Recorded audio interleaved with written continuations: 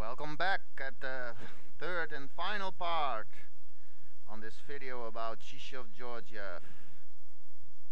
Chizhov tried to defend the endgame, but it is lost.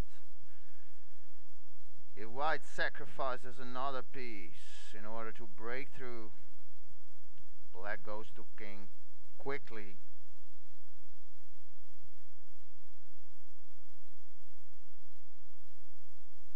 Black making a king.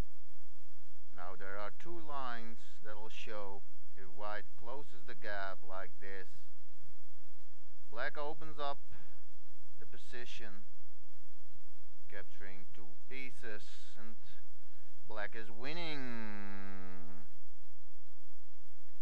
If white plays like this, the black king attacks.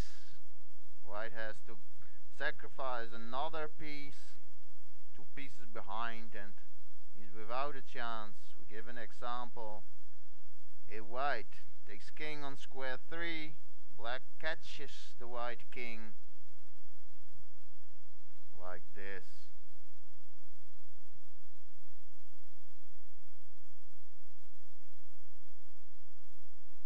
And black is winning.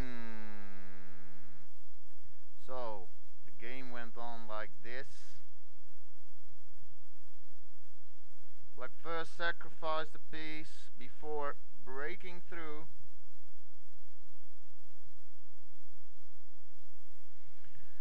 White tried to defend, creating a stick move.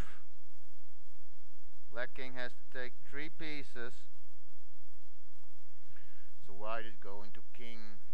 Black attacks. So that this piece is in even worse position.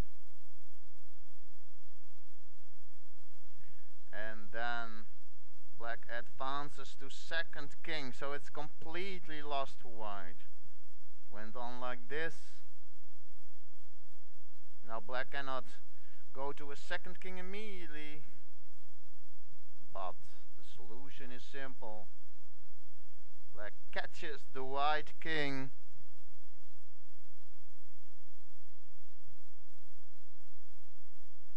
And white is getting nowhere anymore. Here Chizhov resigns since if he sacrifices and goes on, black will sacrifice his king, stop the white piece, and black is winning